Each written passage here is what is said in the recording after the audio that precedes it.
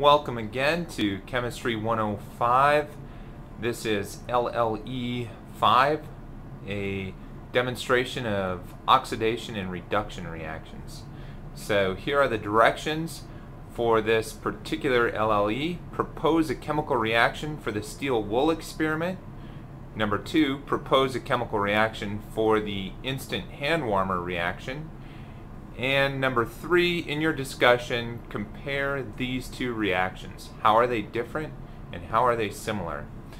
For the first chemical reaction, we're actually going to look at the reaction of steel wool in our atmosphere.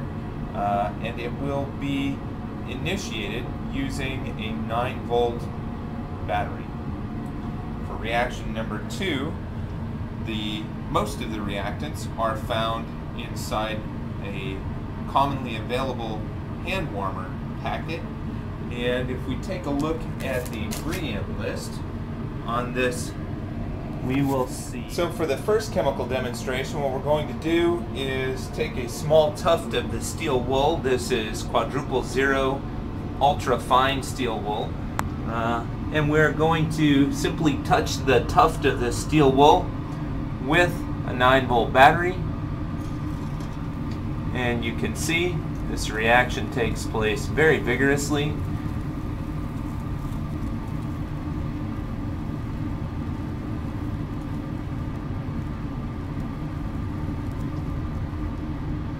And there. Still going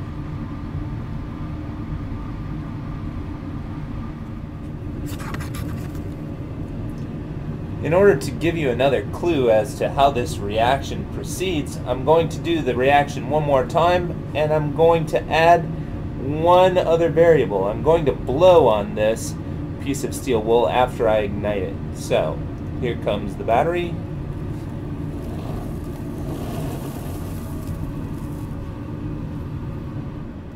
For the instant heat hand warmers, I want you to recognize the fact that it says that it lasts 10 hours, that it is a disposable warm pack, and that it offers all sorts of suggested uses, and it says it is non-toxic, odorless, and air activated.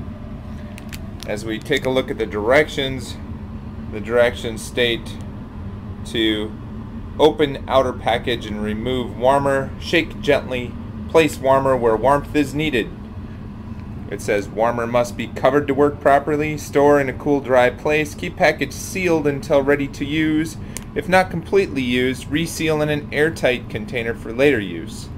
The average temperature of this pack gets up to 124 degrees Celsius, and its maximum temperature could get as high as 156 degrees Celsius. The contents are iron powder, active carbon, water, vermiculite, and salt.